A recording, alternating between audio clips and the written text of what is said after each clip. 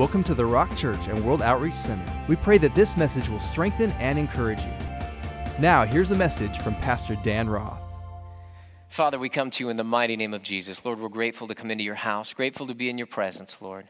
We thank you, Father God, for what you've already done in this place tonight as we've sung to you, as we've shouted your praise, Lord, in the victory, celebrating what Jesus has done, who he is, Lord. We thank you that he's on the throne. He's risen. He's not dead. He is surely alive, God. And we praise you and thank you for your goodness. Lord, tonight as we open up your word, we pray that you open it up to us. Open us up to receive it, Lord. Open our eyes to see, our ears to hear, our hearts to have a good understanding. May we be the good ground where the word is sown, and may it produce something in each and every one of our individual lives. Lord, tonight we don't look to a man or to a woman, to the young or to the old, to the black, white, brown, any other color we could imagine. We look to you. Be our teacher, be our guide. Holy Spirit, be welcome in this place. Give us the vision, the wisdom, the instruction, the direction, even the correction we need for our lives. And Lord, we'll give you the praise and the glory and the honor for it. God, we don't just ask this blessing upon ourselves, also we'd ask it for all the churches, both here in the Inland Empire as well as around the planet, that are both preaching and hearing the gospel of our Lord Jesus Christ. We ask that you bless our brothers and sisters. God, if they're preaching your gospel and your truth, Lord, we bless them, Lord. Bless our Baptist brothers and sisters, Lutherans, Methodists, Episcopalians, Charismatics, Pentecostals. God, we thank you for Calvary Chapel, for Harvest, for the Well and the Way, for Ecclesia and Trinity and Emmanuel Baptist. God, we thank you, Lord, uh, for all the great churches, Victory, and uh, for the assemblies, God, the four square denominations, God, for our Catholic brothers and sisters and Adventist brothers and sisters, Lord. If they're lifting up the name of Jesus, preaching your truth, God, we bless them as you would bless us this night. Also, this, Lord, we do not forget our persecuted brothers and sisters scattered abroad throughout the world. Lord, we ask that you lift them up, encourage them, strengthen them. May they endure to the end, God. In Jesus' mighty name, we're all in agreement, and we say, Amen. Amen. Tonight, get your Bibles out and go with me to Joshua to start. We're going to be launching out from there. And tonight, I want to talk to you about deliverance that endures. Now, sometimes when we talk about deliverance, we, we got to define what we're talking about. Deliverance is when you have been delivered from one place to another. Specifically in the Bible, when we talk about the subject of deliverance, maybe sometimes you've heard a deliverance ministry and it was specific to a certain area uh, of, of what the Bible has to say. And yet, uh, I want to talk about being delivered from that old man, from that old life. Jesus, the Bible tells us, has delivered us out of the power of darkness and into the kingdom of his dear Son. It's a kingdom of light. So we have been delivered out of dark and into light. Now, Joshua chapter number six. Children of Israel have come into the promised land. They have separated themselves. They've gotten themselves ready. Uh, they have followed the will and the way of the Lord. You remember the story. They marched around Jericho seven times. On the seventh time, they blew the trumpets. They shouted for the victory, and the walls came a tumbling down, like the song says, right? And so here they are, and they wipe everyone out with the edge of the sword. They destroy everything. They, they break down all, all the walls are rubble. And, and so now here we see that they have the victory, and now they, they have won the battle. The battle belonged to the Lord. God has done it on their behalf. And now, here in Joshua chapter number six, verse number 26, very interesting. I'm going to point this out to you. Verse number 26, Joshua says something. After they've won this victory, after God has delivered into their hands this stronghold, this Jericho, this mighty walled city, Joshua chapter 6, verse 26, then Joshua charged them at that time, or he warned them at that time, saying, Cursed be the man before the Lord who rises up and builds this city, Jericho. He shall lay its foundation with his firstborn, and with his youngest he shall set up its gates. So Joshua warns the people and he puts a curse upon anybody who tries to rebuild the city of Jericho. Now, you remember uh, the, the city of Jericho was the first fruits of the battle. As they were going in, this was the first city that they were going to take out. And everything was dedicated from that city to the Lord. So when Achan took the gold of that city, it cursed the whole nation. And so this was something that was a, a first battle, it was a first remembrance. The rubble was supposed to be a remembrance for them. They were supposed to look on that, and if somebody didn't know what happened, maybe generations had passed now, and, and, and, a young guy comes up and he passes by Jericho, he would look to his father or to his grandfather and say, Hey, what is that pile of stones over there? And he says, Son, let me tell you a story about how God brought us into this land, how he brought us out of slavery in Egypt, how he did miracles, signs, and wonders, brought us out with a mighty hand and outstretched arm, how the children of Israel should have came in right away, but they didn't believe God. And because of their disobedience, they wandered in the desert 40 years. Let me tell you about how finally a generation was raised up and, the leadership changed from Moses to Joshua. And Joshua brought the children of Israel in with great, mighty, wondrous sign. He split this river, this Jordan River. And now they came in and they marched around this walled city, this impenetrable city, and God brought this city to the rumble, rubble and the rocks, which you now see. See, it would have been an opportunity. And that's why Joshua comes and he says, This thing is first fruit. This thing is holy to the Lord. And whoever rebuilds it, there's a curse on him because he's touched something that the Lord has done. God has delivered this city into their hands. Well, now if you turn me to 1 Kings, go forward in your Bible past Judges, 1st and 2nd Samuel okay, and find First Kings. And in First Kings chapter number 16, we're introduced to a man by the name of Hiel. There's a wicked king, King Ahaz. There's been idol worship in the land. People aren't doing what they should be doing. And in 1 Kings chapter number 16, Verse number 34 says this In his days, speaking of A- King Ahab, sorry, King Ahab, verse 34, in his days, Hiel of Bethel built Jericho. Now remember, Joshua had laid a curse on anybody who builds Jericho. You guys remember what the curse was? At the cost of his firstborn, he'll lay its foundations. At the cost of his youngest, he will set up its gates. It says, In his days, Hiel of Bethel built Jericho. He laid its foundation with Abiram, his firstborn, and with his youngest son, Segub he set up its gates, according to the word of the Lord, which he had spoken through Joshua, the son of Nun. So here's a man that I don't know what it was about this guy, Hiel. He had to either be ignorant of the curse, maybe he didn't know it, maybe nobody had taught him. Could have been that uh, he was unbelieving. Maybe he said, Yeah, I've, I've heard about that curse, but is it really true? And so he decided to test it out at the cost of his own children. Or it could have been that he didn't care. He actually cared more for the work of building Jericho than he did for his family. In any of these three cases, this guy's in a bad situation.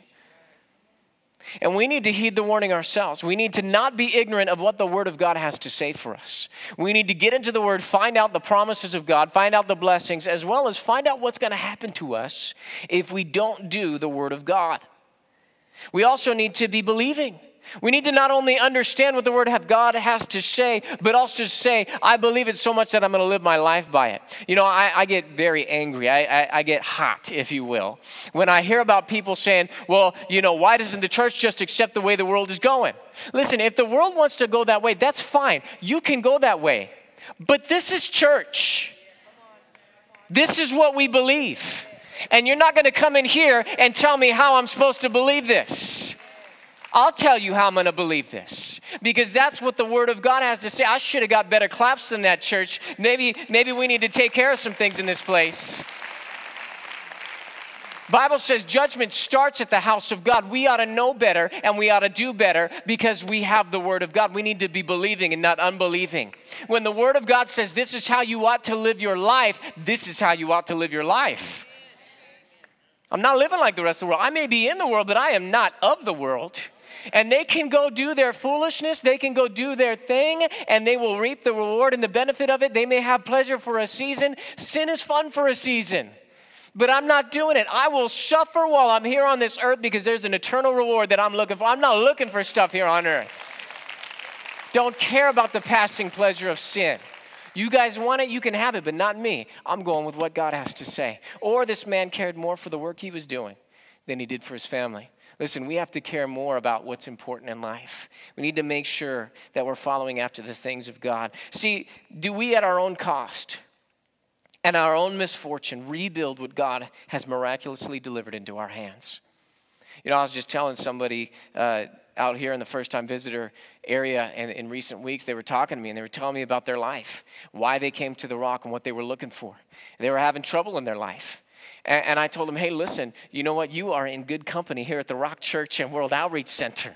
Everybody in here is ex something ex pervert, ex uh, sinner, ex drug addict, ex con, you know, ex somebody. Uh, you know, everybody's got a story here at the Rock. You know, there might be churches out there with perfect people in them, but I ain't found one yet. And here at the Rock, you know, we're just bold enough to say. Yeah, that used to be me. Uh, I was into all sorts of stuff, but that's our testimony. That's what God brought us through, and now we know what God has brought us to. And, we, we look at that and we say, well, this is the church of the X's, you know what? And we're in good company. Don't worry about it. You know, the people around you, they're not shocked by your sin because they were doing the same things. Come on. Any honest people in the place tonight? See, we were delivered. And yet, God tells us, I don't want you going back to that old sin. If we start to rebuild those things which were miraculously delivered into our hands, then we're just like Hiel. We're going to find ourselves with things going wrong in life. Galatians chapter 2 verse number 18 says this, for if I build again those things which I destroyed, I make myself a transgressor.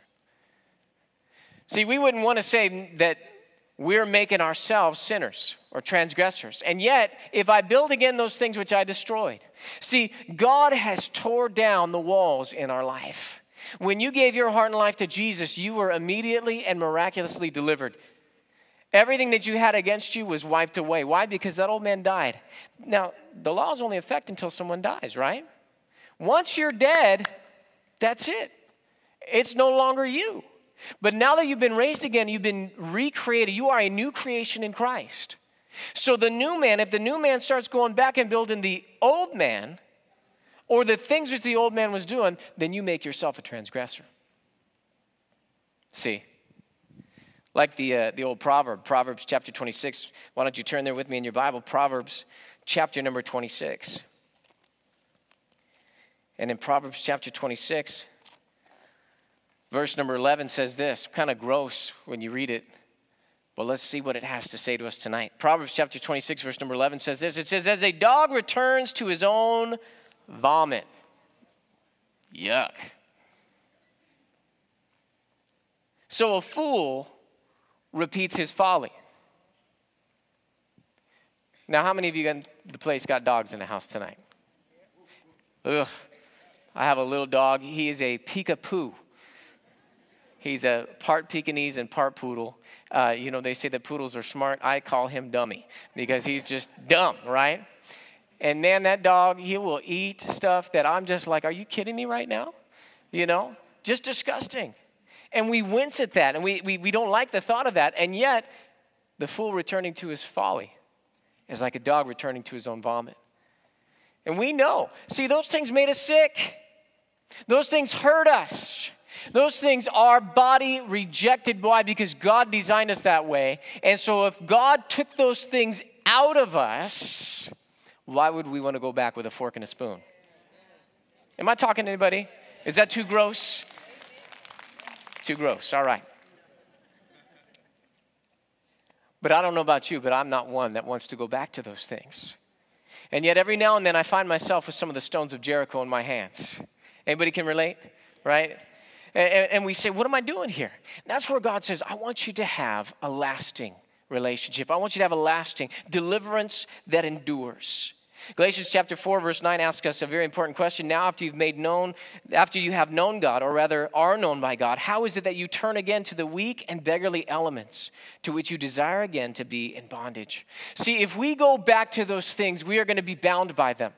Just like Joshua pronounced the curse on Jericho, if we go back to that old nature, if we go back to that old man, we're going to find ourselves in bondage to the old ways. But God never intended for us to be in bondage. God has freed us from the life of sin. God has delivered us out of that darkness. God has brought us out into a wide and open place. God has brought us into the kingdom of light now. We don't have to be groping about in the darkness. And God is saying, I want you to stay there. I heard that in Rome there was a, a, a way that they would uh, execute people that was a very torturous and, and, and terrible method. They would take people and they would set them out in the fields and they would tie a dead body to their back. And then they would make them work in the fields. And eventually, that dead body rubbing up against their back and being in close contact, the, the worms and the things uh, rotting and eating away at the dead flesh would eventually start to rot away and eat at the living flesh. And the people would eventually die from their wounds. See, if we reattach ourselves to that old nature and to that old man, it's like tying on a dead body to our back and going about our day. Eventually, it will tear us apart little by little, and we'll get spiritually sick.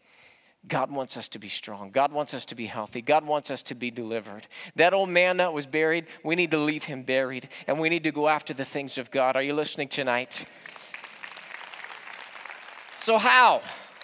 I know you want it now, but how do we do it? How do we have an enduring deliverance? If God has already delivered us, and, and now I don't need to go back and rebuild those things, how do I do that? Because sin does have its pleasure.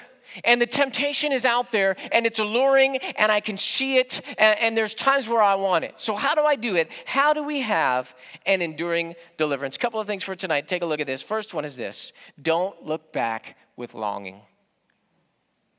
Don't look back with longing. Remember, Jesus warned the people do you remember Lot's wife?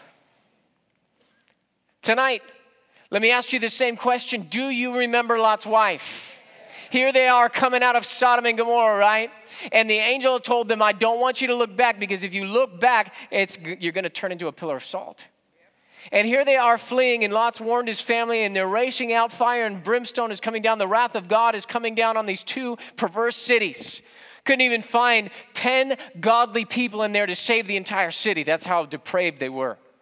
And so the righteous judge of, judgment of God is coming down. The wrath of God is coming down, is being poured out on the ungodly. Here they are racing out. The angel actually had to grab a hold of Lot and yank him out of there. And so here he is being delivered, and yet his wife turns around and looks a longing eye back and immediately turns into a pillar of salt. I heard a story of a guy uh, on 9 11, World Trade Centers. And uh, it was September 11th, 2001, just past 9 a.m. Stanley, I'm going to murder this last name, Praimnath, vice president of Fuji Bank, was in his office in the southern tower at World Trade Center when his phone rang. Are you watching the news? asked a woman from the Chicago office. Are you all right? I'm fine, he said, wondering why she had called. Just then he turned out to gaze out the window at the Statue of Liberty as had been his routine. And the surreal sight of a low flying commercial jet headed straight for his tower disrupted his view. He dropped the phone in mid sentence and dove to the floor.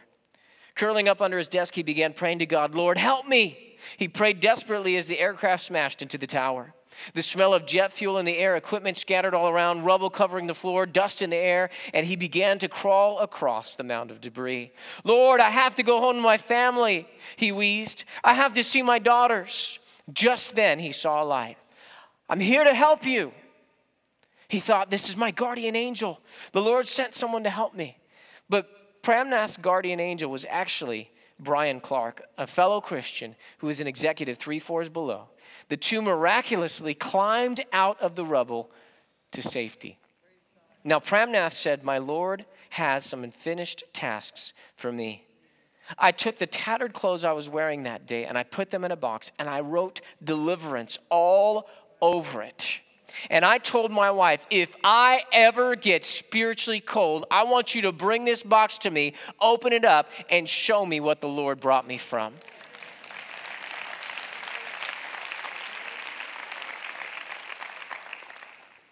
That's why I said, don't look back with longing.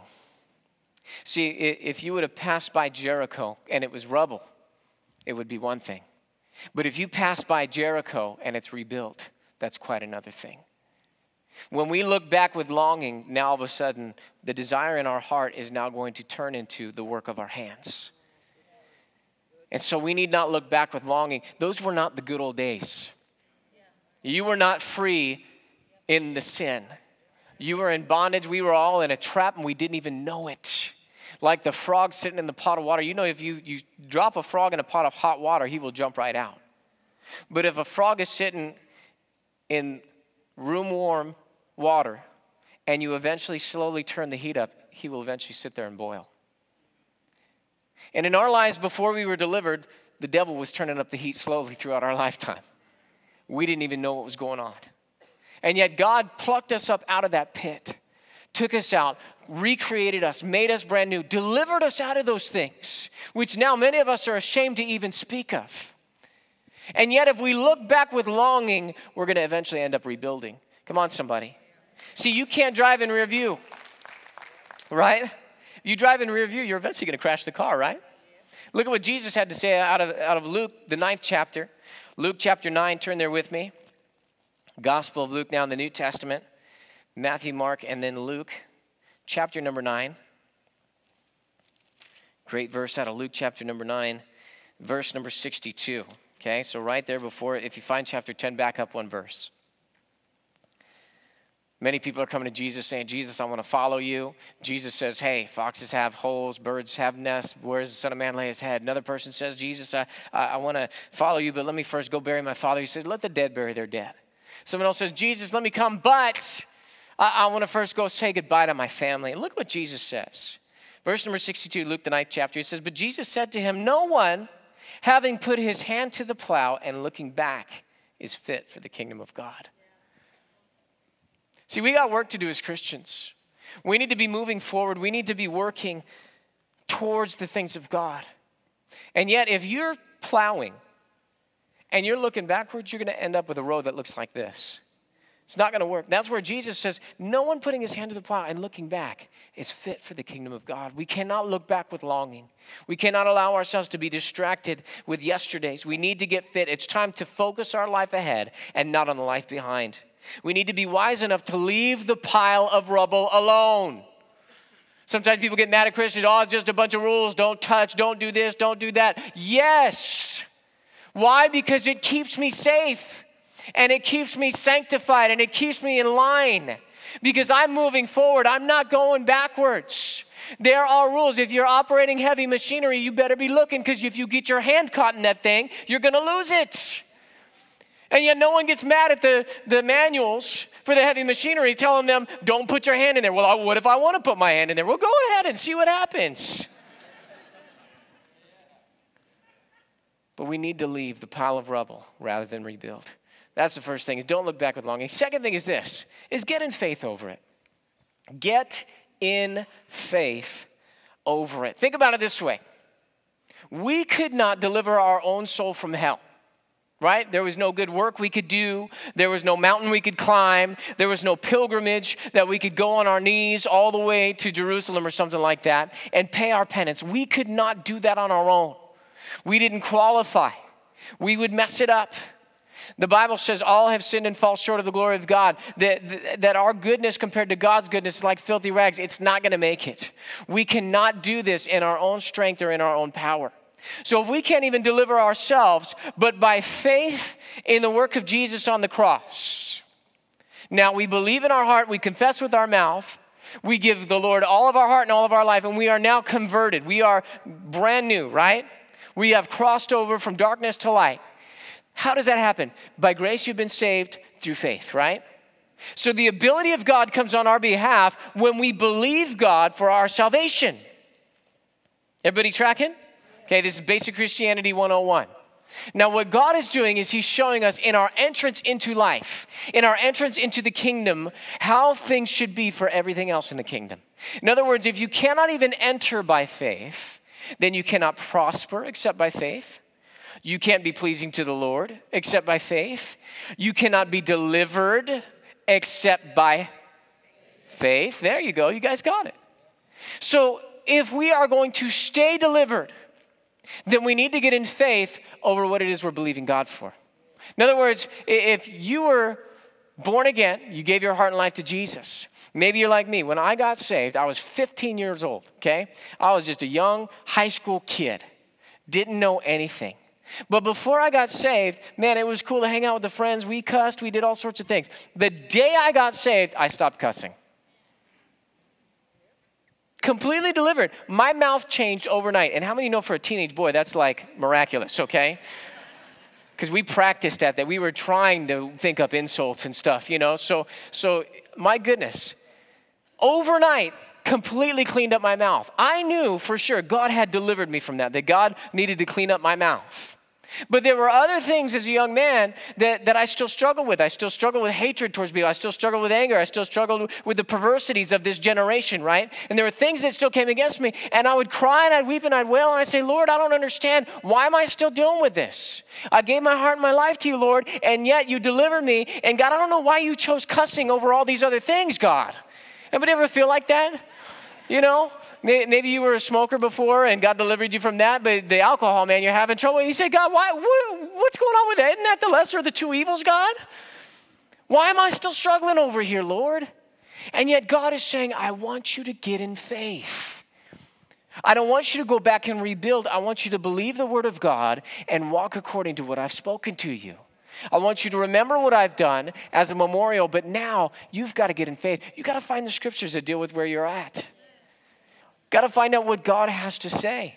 I would encourage you if you're struggling in this area, Colossians, the third chapter, is a great place to start. Okay? Just read through that and see if you can find your issue somewhere in there because here is a laundry list of stuff that God speaks about in Colossians, the third chapter. And so find the scripture, find out where it is. Maybe if you have a Bible that has a a good concordance in the back and you open it up and you can find anger or you can find lust or covetousness or whatever it is that you're dealing with. Maybe it's hatred. And you start to find the scriptures that deal with those things. Or, or if you want to go online and do a word search on one of the, the, the Bible programs like uh, Bible Gateway or, or uh, uh, one of those other U YouVersion or one of those great Bible apps out there, and just do a word search, find those scriptures and start to believe God in that area of your life. Confess them, pray them, pray them over your life. Start to speak those things. You know what, God? I will be angry, but I will not sin.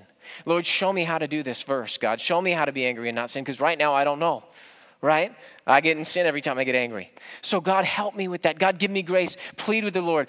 Go before the Lord. God, I, I don't want to go back. I don't want to rebuild those things which I've been delivered from, which you've delivered into my hands, God.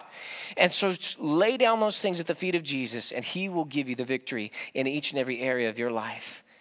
Hebrews chapter 11, verse 30. I'll just put it up on the overheads quickly because we're going to be there in a couple months in our studies on the Sunday mornings. I thought I could use it tonight. We'll all forget it by the time we get there. But Hebrews 11, 30 says this By faith, the walls of Jericho fell down. Isn't that amazing? By faith, the walls of Jericho fell down. What if the children of Israel did not believe God that what, God, we're going to march around the walls and blow some trumpets and, and give a shout and they're just going to come down? That's foolish, God. We're going to go build a rampart. We're going to go get some catapults. We're going to go hire an army out of Egypt. We're going to go. See, what would that be? That would be utter failure. They would fall at the hands of their enemies and they would be like grasshoppers in the sights of the giants in the land. And yet, all they did was they believed God, they walked in obedience to the word, and the walls came down. By faith, the walls of Jericho fell down after they were encircled for seven days. In other words, they just had to believe God and do what God said. So simple. So simple. That's why if you're struggling with lying, the Bible says put away lying. You say, How do I put away lying? Well, let's start taking a look at your tongue. Do you speak deceit? Is there intents of the heart? What's going on on the inside of you? See, God makes it so simple. He has the manual for our life. Whatever it is you're struggling with or dealing with, I guarantee you there are volumes of scriptures that will teach you and God will lead you. He will speak to your heart. He will give you a process. You can write it down and make it plain so that you can run with it. Oh my goodness. That's where you get, but you got to get in faith over it. You got to believe the word of God. Come on, somebody, you're listening tonight. Last thing is this. Last thing is this. If you're going to stay delivered, you have to apply your authority in Christ. Don't let that old man raise up like Night of the Living Dead or some stupid zombie movie, right? That old man's dead. And if something comes putting its ugly old green hand up out of the ground, I'm in authority over that thing. And in the name of Jesus, you're not raising up. So you have to apply your authority in this area of life. If the devil comes knocking, who is it? It's the devil. Right? Or maybe it's your past. Or it's your opportunity to have some fun. Remember, the devil's a liar. No, you have authority. Listen, devil, Get off my doorstep and don't you come near my house. Not even opening the door to that, not even entertaining that. You've got to apply your authority. Devil, you are under my feet. The Bible says in Romans chapter 16, verse 19 and 20, that the God of peace will soon crush you underneath my feet. You're a defeated foe, and don't you be coming trying to remind me of my past because I'm going to remind you of your future. You have to apply your authority. Sometimes people say, Well, I'm just a little old sinner saved by grace. No, you're not. You used to be a sinner, but then you got saved by grace. Now, if any man be in Christ, he is a new creation. All things are passed away. All things have become new. I am not that old sinner anymore. That is no longer a part of my nature. Now I got a new nature. I've got the nature of God on the inside. I've been delivered from that past. I, I now can put off that old man and I put on the new man, which is recreated in Christ. I am now a saint. I am now holy and pure before the eyes of my God. I am wall to wall Holy Spirit. I am robed in the righteousness of Jesus Christ. When God looks at me, He doesn't see that old sinner. He sees a child of God. He sees the saint of God. And I have the authority of Jesus Christ. See, that's, that's where we have to apply it. We got to know these things about ourselves. God has given us authority here on the earth. Take a look at Jeremiah chapter 1, verse 10 up on the overheads. God is speaking to Jeremiah when he inaugurates him as a prophet. He says, See, this day I have set you over the nations and over the kingdom. See, he says, I've given you authority. Look at what he says to do what? To root out and to pull down, to destroy and to throw down, to build and to plant. Oftentimes, before we can get to building godly things in our lives, see, we all want to build, we all want to plant. But God says there are times that you need to root out and pull down. You need to get some things out of your life, and you have the authority to do it. Don't go back rebuilding those things. You know, after you have gotten rid of all of your CDs, don't go out and buy those explicit lyric CDs any longer. Hello? Because what are you doing? You're rebuilding those things which you were delivered from.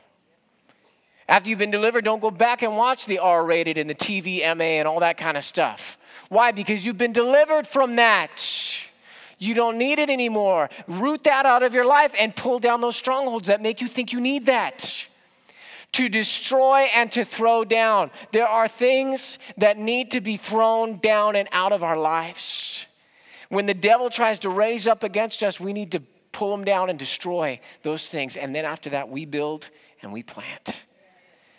What do we build? We build the Word of God into our lives, and we plant the seed of the Word into our lives. We have the authority of the Word of God. Let me show it to you in the New Testament now, Second Corinthians chapter 10. Turn there with me. You might be there in the book of Luke still. Second Corinthians chapter number 10. Let's start in verse number 3. 2 Corinthians chapter 10 verse number 3 says, "For though we walk in the flesh, we do not war according to the flesh." See, even though I might still be in this old body that looks like that old man, I, I no longer war. I no longer live. I no longer do life that old way. And so when I war, I don't war in the flesh any longer. No, now I war in the spirit. Verse number four, for the weapons of our warfare are not carnal, they're not fleshly, right?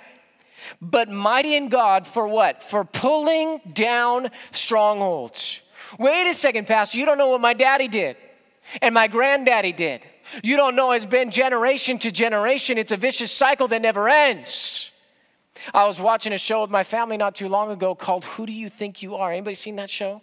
Okay. And they go through the genealogies and the history. Very interesting, you know. So and so has a, a great, great, great, great, great grandmother who was the Queen Mother of England or something like that, you know. And, and uh, such and such a, an actor has a, a, you know, a guy that was a, a very wealthy business owner, very influential in his day. And now that's why he's now influential and that sort of a thing. Really neat to take a look at. But then we were watching this one guy, and he was telling his story, and they, they kind of set you up for it, you know? And it's talking about all the things that he does as an actor and all the things that he was doing, how he broke into the Hollywood scene and, and the different things, different roles that he had played. And then it started to talk about his mom and his dad. And it said that his dad was an actor. And I thought, oh, I already see where they're going with this. His dad was an actor. His granddad's going to be an actor. He's going to find an act- actor like in Shakespeare or something like that. They're, they're just setting you up. But they didn't. They took a turn.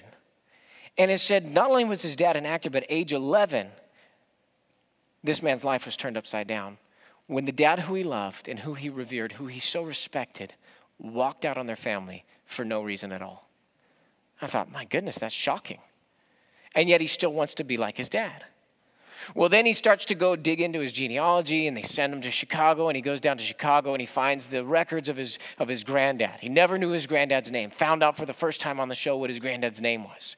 So he starts to take a look at him, he starts to see records of him, he says, Well, hey, this record says he's married, and this record says he's single. What's going on? Did his wife die? And they said, Well, we have court documents that show what happened. And so they go down to the court records and they find out that the grandmother showed up to court, but the granddad didn't. And they asked the wife, why would he not appear?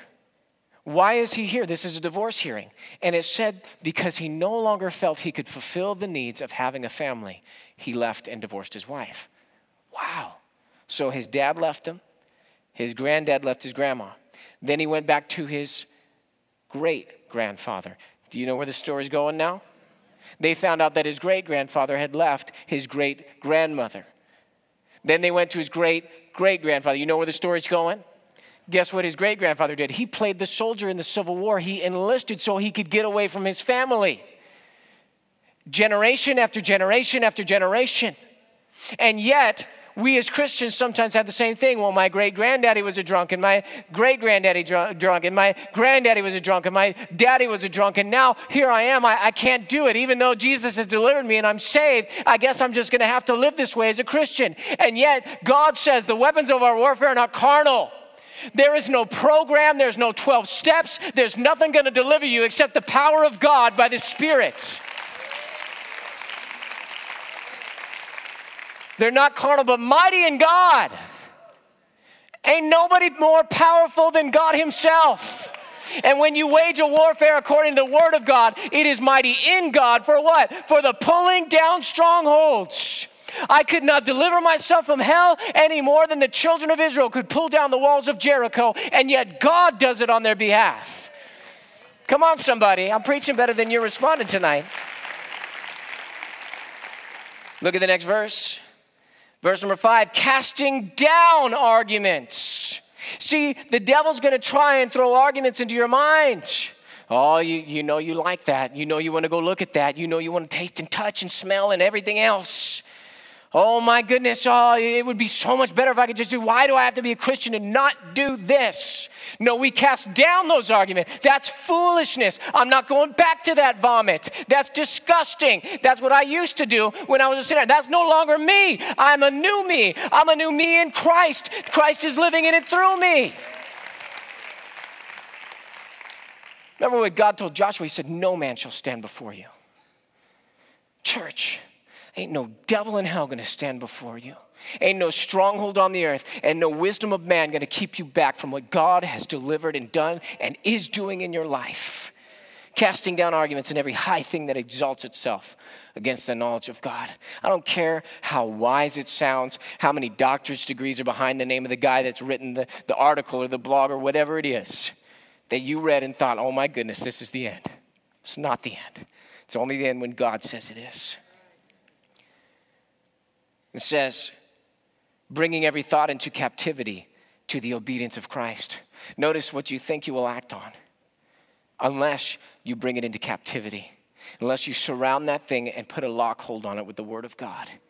Bring it in subjection to the obedience of Christ. Look at the next verse. And being ready to punish all disobedience when your obedience is fulfilled. See, there is, comes a time where you have to just whip the devil's behind Say, no, I'm not going to do that. I'm going to punish that with the word of God. Remember, Jesus pulled out the sword of the Spirit on the devil. It is written. It is written. It is written.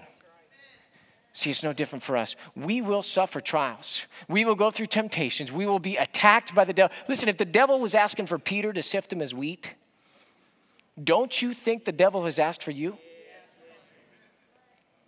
He was asking for Peter before he had the Spirit of God. How much more is the devil coming after us? And so we don't need to be unwise. We need to be wise. We need to recognize and realize I need to get the word of God on my behalf. I need to not look back with longing. I need to get in faith over it and then apply my authority in Christ. I will cast that thing down. I will cast that thing out. And then guess what? If I do it, I'm going to punish it. If I find myself with bricks in my hand, stacking one on top of the other, oh no, I'm going to punish that thing with the word of God. It is written that you shall not rebuild this. It is written, I've been delivered out of the power of darkness. It is written that greater is he that's in me than he that's in the world, and start throwing down those things.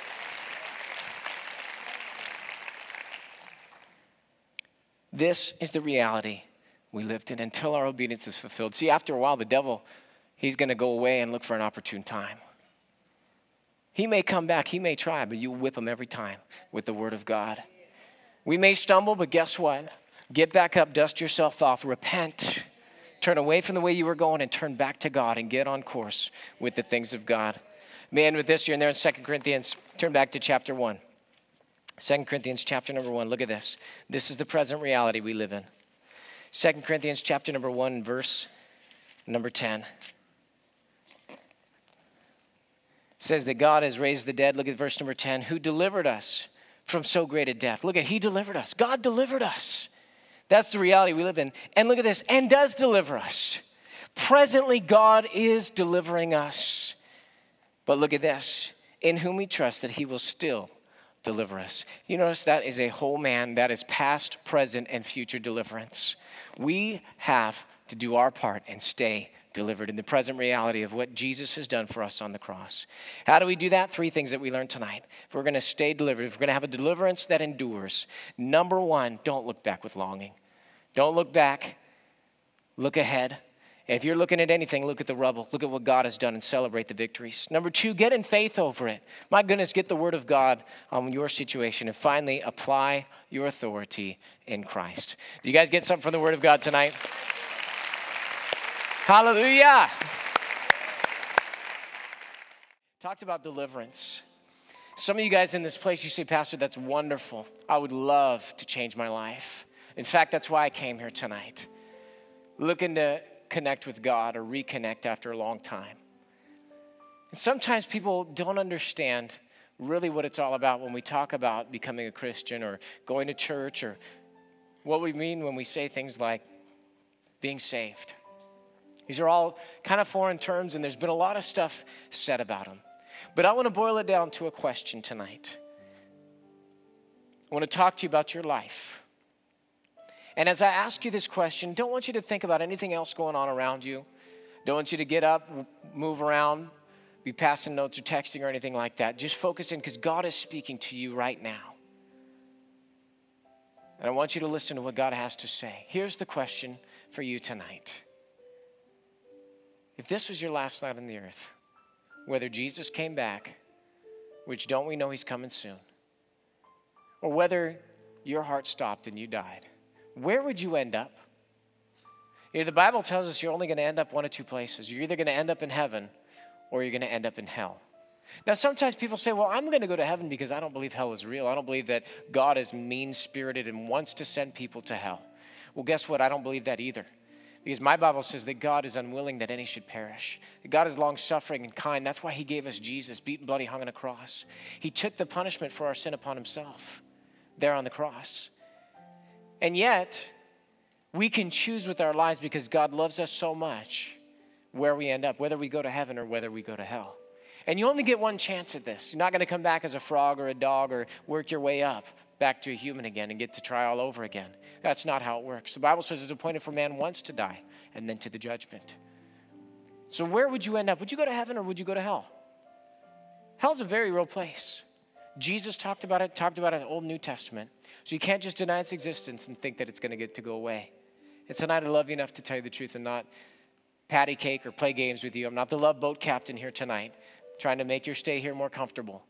In fact, I'm probing you, trying to push you, make you feel a little bit more uncomfortable.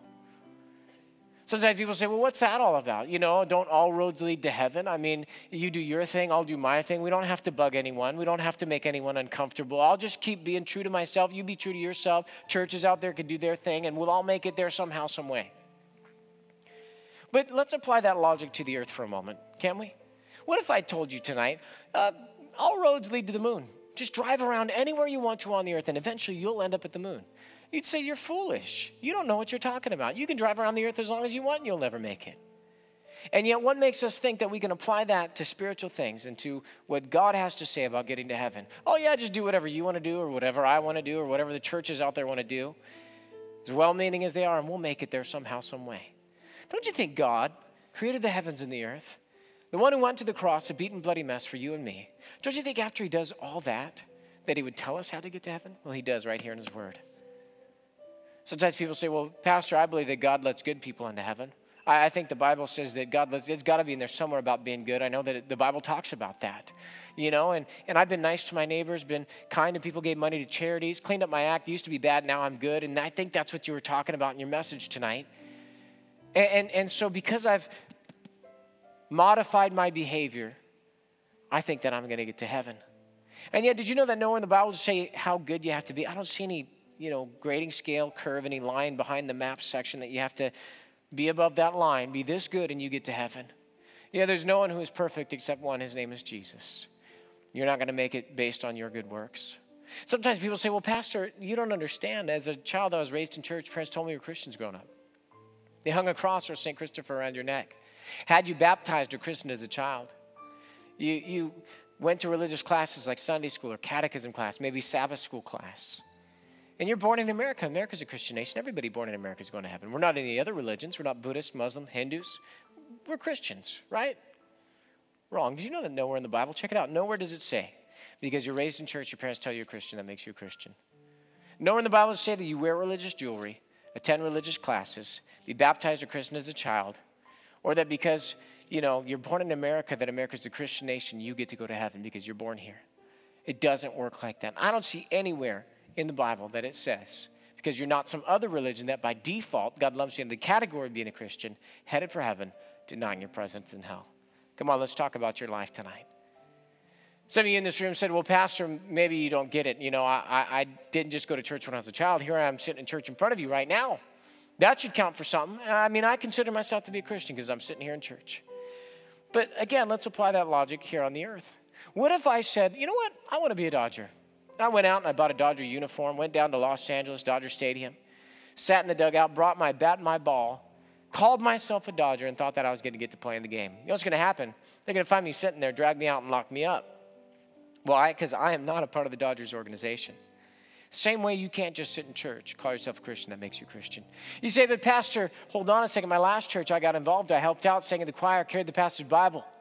People thought of me as a leader. I made decisions in that church. I even got a membership card. That's great. I'm glad you did those things. But show that to me in the Bible, could you, where you help out, sing in the choir, carry the pastor's Bible, make decisions. People think of you as a leader, that you get to go to heaven. It's not there. And I don't see anywhere in the Bible that God is looking for your membership card to a church before you can enter the gates of heaven. Come on, let's talk about your eternal life. Somebody said, Ah, got you on this one, Pastor. I know God. And, and someone told me that if I knew God, I'm a Christian. I know God. I believe, you know, about Jesus being born in the manger, sing the songs of Christmas every year of my life. I, I, I celebrate the resurrection at Easter. I'm a Christian. I could quote scriptures to you, Pastor. And while that's great, I'm glad you can do those things. If you'd read your Bible, you know the demons believe that Jesus Christ is Son of God. They're not Christians. The devil himself knows who Jesus is and can quote scriptures out of his mouth, and yet that doesn't qualify him for heaven. So, everybody, look up here at me for a second. Look up here. This is not what you have in your head that counts. Not about having mental assent towards God, knowing who Jesus is that gets you right with God. See, many people are going to miss heaven by 18 inches, the distance from their head to their heart. It's always been about the heart. Jesus said it like this He said, You must be born again. We've been talking about that tonight. Delivered out of the kingdom of darkness, that old man has to die. You say, Well, how does that happen? I don't understand that. See, the same way, when Jesus made that statement, You must be born again, the man that he was talking to didn't understand it either. Jesus said, What is born of the flesh is flesh, but what is born of the spirit is spirit. How do you become born again. It's as simple as this you give God all of your heart, you give God all of your life. Just that simple. It's all or nothing with Jesus. You lay down your life, that's all, and you raise up with His life. It's just that simple. As you release to God all of your heart and all of your life, He comes into your heart, recreates you from the inside, and now you're born again. It's plain and simple. It's all or nothing with Jesus. Let me prove it to you. Last book of the Bible, book of Revelation, Jesus is speaking to a church just like he's speaking to us here in this church tonight.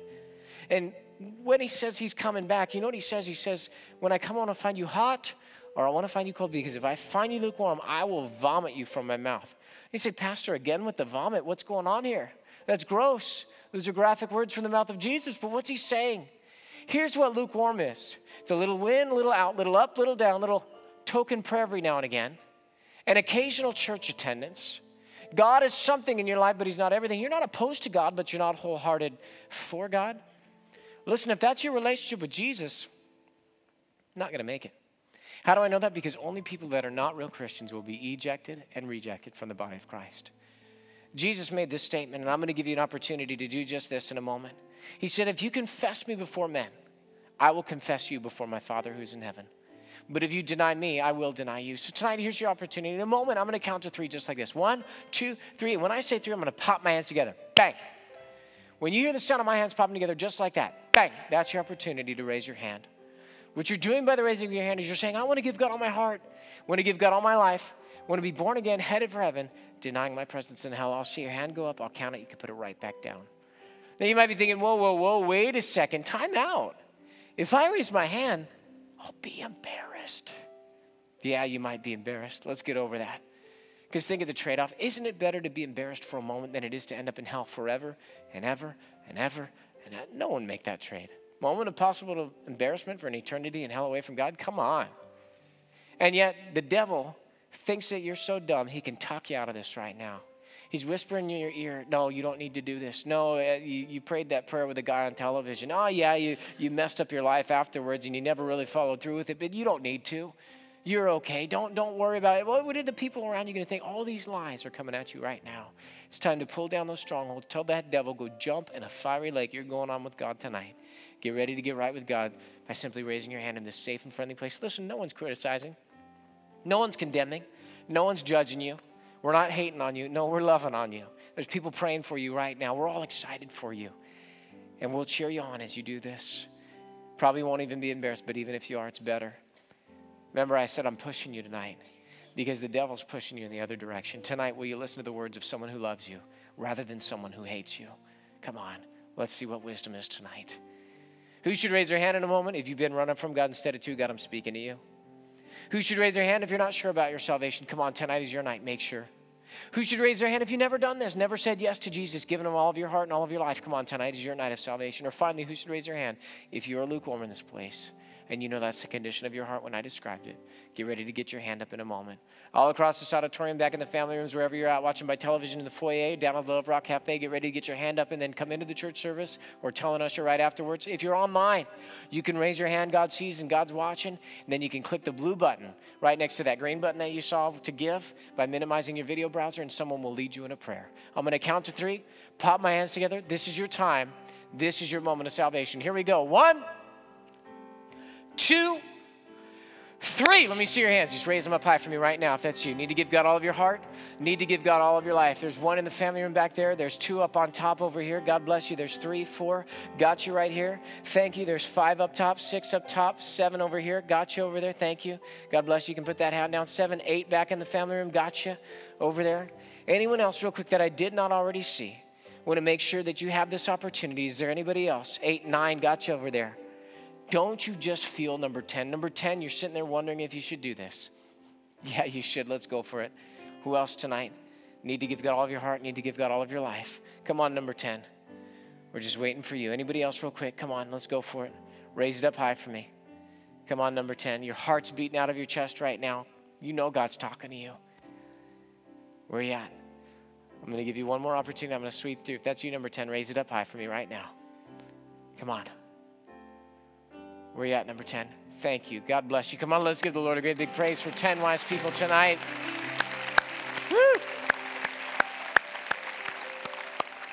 So cool. All 10 of you, if you raised your hand, you should have raised your hand, but you didn't. It's not too late. Here's what I want you to do get a hold of your coat, purse, sweater, Bible, a friend if you need a friend. Get your stuff, in other words. Get a friend if you need a friend, okay? I want you to get in the aisle and meet me up front because we're going to change destinies tonight. Can't do that till we get you down here. So let's all stand. No one leaves during this time. Come on, let's all welcome them as they come. And if you raised your hand, or you should have raised your hand, come on down to the front right now. Come on, come on, come on.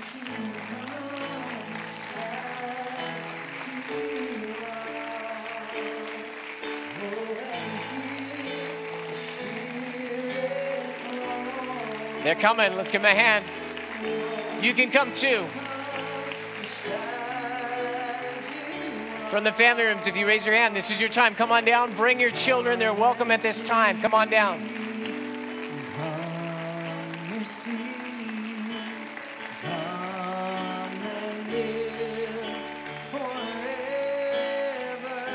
Anybody else, if you need to come, you just come right now. Come on down.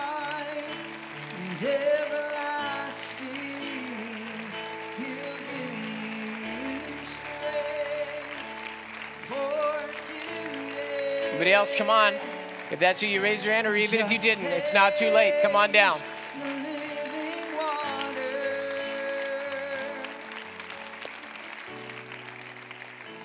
All right, hey, everybody up front. Take a look up here at me. Put a big smile on your face. This is a good thing. This is not a bad thing, okay? Came to give God all of your heart. came to give God all of your life. Tonight is the moment of deliverance. We talked about that, right? You are being taken out of the kingdom of darkness, out of the family of the devil, because Jesus said, You're of your father, the devil, right? And now you're being brought into a new family. You got a fresh start, and you're being brought into the kingdom of light, completely and totally delivered. It's a process. You got to stay delivered. Right over here to my right, your left. See this guy waving at you? This is Pastor Joel. Really good guy, really neat guy. He's going to lead you in a prayer to invite Jesus into your heart. You're going to be born again. Then he's going to give you some free information, some free literature to find out what just happened in your life. And now that you're a Christian, what do you do next? And then he's going to offer you what we have here called a SPT. You say, SP what? Spiritual personal trainer. It's a friend in church who will come alongside you for five weeks, teach you five things out of the Bible, help you get strong in the ways of the Lord so you don't go back to the old ways, but that you stay delivered into the new ways. Go on with God for the rest of your life. All right? Give us a year, give us an opportunity. Okay? Commit stay in the house, sit under the teaching, and at the end of that year, you will be so blessed that you will just be glorifying and praising God. Am I telling the truth, everybody? All right? It all starts with five weeks with an SPT, okay? It's easy and it's free, all right? And then right after he's done, he'll let you come right back out. Your friends and family will wait for you. If you make a left turn, follow Pastor Joel right this way. Come on, let's give him a hand as they go.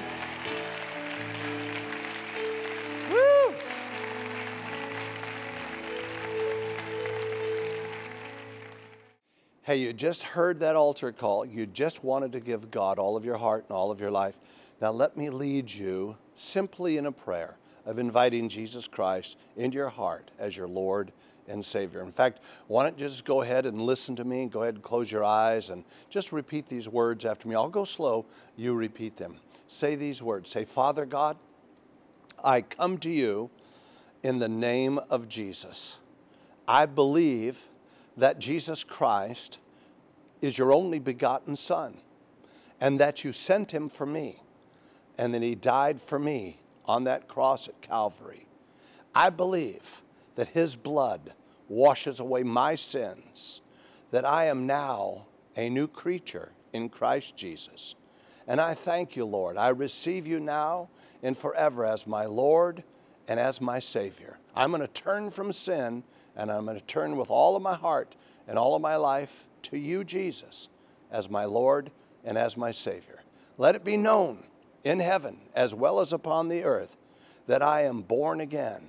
I'm a child of God, that I'm saved, and I'm headed for heaven and denying my presence in hell. Thank you, Jesus. I'm alive forevermore. Love you so much. God bless you guys. Everybody just say amen and receive Christ as your Lord and Savior. So talk to you later. God bless you. Thank you for listening to the Rock Church and World Outreach Center. If this message spoke to you, please share it with us. We'd love to hear from you. You can find more information at www.rockchurch.com.